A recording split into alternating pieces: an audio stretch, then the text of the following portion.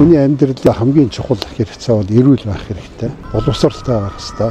Эрүүл хүнс хэрэглэх хэрэгтэй тоглог суудсанд амьдрах хэвээр. За эдгээр шаардлагын үүднээс өнөөдөр орон сууцны талаар ганцаар ярих гэж бодож байна.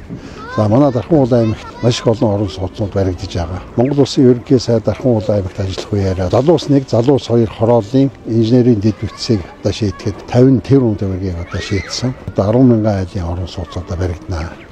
За мөн хувийн хвшлийн компаниуд өөрийн эзэмшил газрууд дээр орон сууц барина. 5 6 7 8 дугаар баг руу татсан инженерийн шугамжуулжийг түшгэлж тэнд амны орон сууцыг хөгжүүлэх хашаа байшингаа орон сууцаар солих ийм боломж өрдөнө.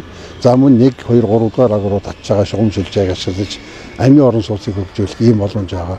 15 дугаар баг руу татж байгаа инженерийн шугамжуулжийг ашиглаж амны орон сууцыг хөгжүүлэх за мөн одоо орон сууцыг барих ийм боломжууд одоо бүрдэж байна. Ипотекийн зээлийг одоо их усрыг баялагын сангийн хөрөнгөлийн сангаас бол гаргав. За мөн одоо хандивлагч орнууд болон санхүүгийн томоохон байгууллагуудаа хамтарч ипотекийн зээлийн их усрыг одоо нэмэгдүүлэх, хүүг багасгах, өгөөжийг нэмэгдүүлэх энэ чиглэл тодорхой ажлууд одоо санаачлаад хийгдээд явж байна.